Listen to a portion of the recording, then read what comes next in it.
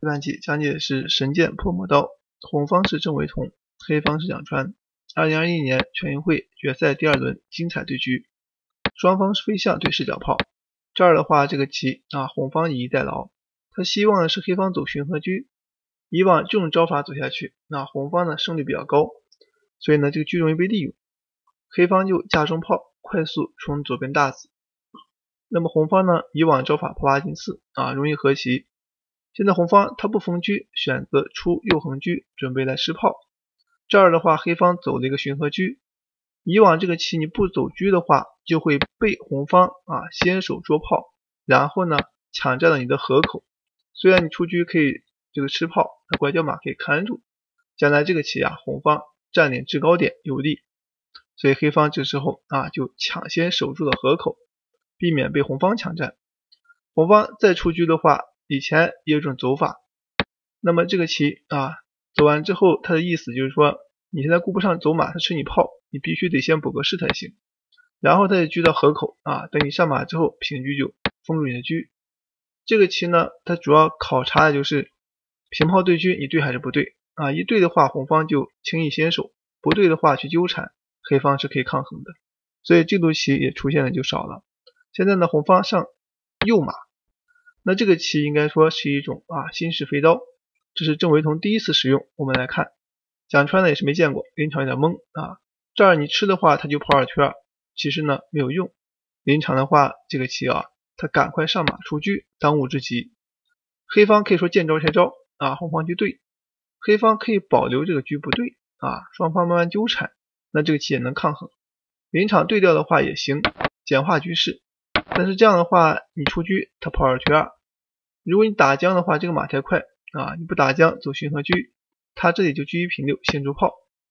对方一补士之后呢，这儿有一步兵三进，两头蛇啊，非常舒服。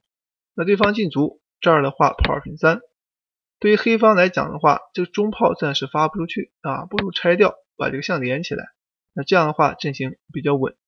实战的话，这个棋啊，选择一步平车吃马，就开始发难了。那么这招棋可以说泥足深陷呀。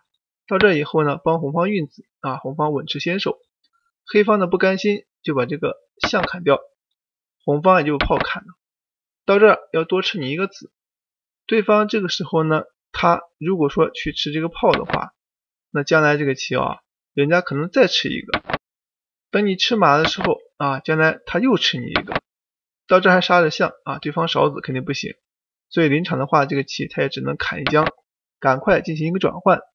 那一般人走到这里肯定是要补士的啊，那黑方他也能下。结果郑惟桐下了一步马三退五啊，这棋太灵活了。对方一吃车之后呢，这儿走了个马五进七，此招一出啊，黑方瞬间懵逼啊，因为他这个马太弱啊，遭到这个炮的威胁，索性黑方就冲中卒准备进攻，而红方也不怕，先打一个再说。这儿看你怎么走，黑方这时候很想去冲这个卒，但他又不敢，因为红方呢当头棒喝一将，这儿你要上马的话一冲啊，你要再走这个他就冲过去，所以这样红方明显是占优的啊，黑方没有办法，他选择先落一个士，然后再冲，此时红方也补一个士，那么黑方很无奈呀，到这儿盘头马是没有用的，只好退回啊避其锋芒，这儿的话红方选择炮三进六打出去啊，乘胜追击。黑方的炮平九拆炮，准备补象，然后呢上马踩炮，以形换位。红方就兵三进一，趁机先过一个兵。你要补象，我就兵三平四啊，兵四平五，抓你中卒，将来形成一个双兵之势。黑方一看红方多兵呀，赶快抢兵。到这儿打出来，红方选择招法是飞象，黑方也是飞一招象捉兵。红方自然是平兵，驱赶对方中卒，对方也跑不了，只能先踩一步炮，围就照。这儿的话选择退回，不给他利用。那么对方继续上来看住自己的中卒，此时呢这个棋啊红方走的是炮九进一，进行一步打马，对方进卒进行腰对，双方形成一个转换。那红方选择招法是炮三进二，继续呢炮打中卒，黑方采取的招法是落象进行一个威胁。这儿的话简单换掉啊，你要吃的话，那将来这个棋啊兵种肯定非常好，而且多兵，所以对方就走了一个马七进八，缓兵之计啊，等一下再给你较量。